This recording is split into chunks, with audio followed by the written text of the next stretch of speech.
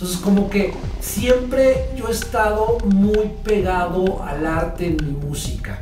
Titán, los primeros shows de Titán fueron todos en galerías. Fiestas en la panadería, pues loquísimas, loquísimas, loquísimas. Vestimentas muy locas también, un rollo muy de performance. O sea, ¿quién se ponía cosas más locas?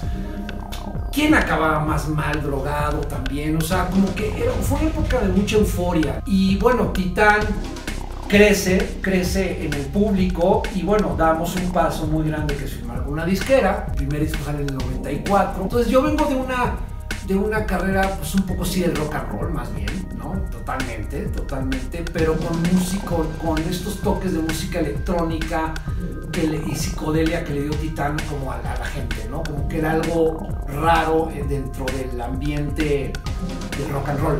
Porque no era ni rock and roll, ni era rave, ni era techno, era una onda muy fresca, funky, bailable, muy para bailar. Entonces donde mejor se acomodó fue en estas fiestas underground.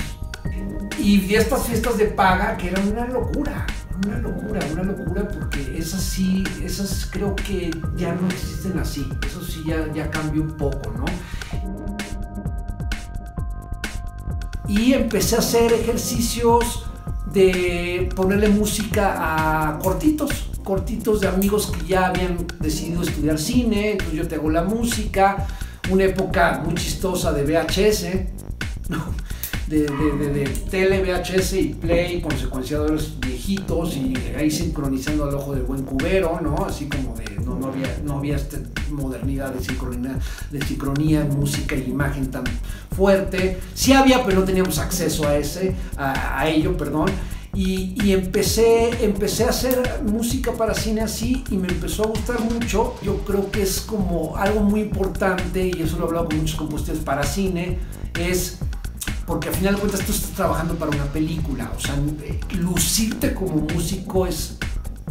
Hay otras maneras de hacerlo. O sea, eh, y no es como mi música luz, o sea, sí luce en la película, pero tú estás trabajando para una historia y tiene un director que te está dirigiendo también musicalmente.